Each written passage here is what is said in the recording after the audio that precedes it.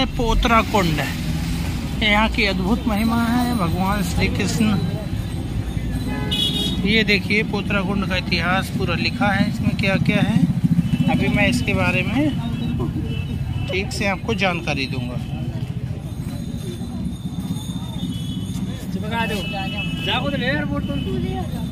पोतरा कुंड यहाँ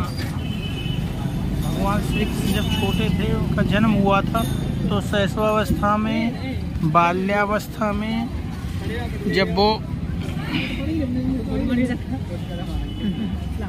उनके मलमूत्र के कपड़े धोए जाते थे, इस, इसका यही इतिहास है, बाल्यावस्था में यहाँ मलमूत्र के कपड़े धोए जाते थे तो इसका विशेष महत्व, इसको पोतरा कुंड कहते हैं। काफ़ी प्राचीन समय का है, जिसमें भगवान श्री कृष्ण का जन्म हुआ था। इसकी बहुत मान्यता है। इस जन्मभूमि के सामने ही स्थित है। ये देखिए। तो देख सकते हैं आपको ये कितना प्राचीन है, इसकी प्राचीन कला शक्ति है।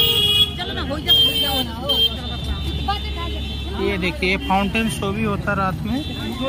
बाकी ये पोतरा कुंड है देख लो आप। इसके दर्शन करना बहुत शुभ माना जाता है।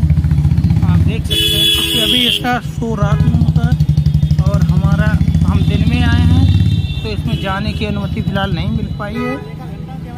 तो इसीलिए हमने बाहर से ही इसकी रिकॉर्डिंग कर ली। आप देखिए इसका।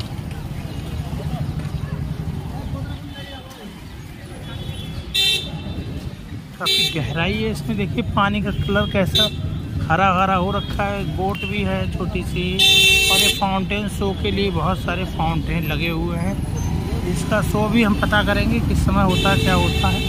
हिसाब से क्योंकि हमें तो टाइम है नहीं, हमें ड्यूटी जाना है तो ये चलते फिरते एक वीडियो बना लेते हैं इससे।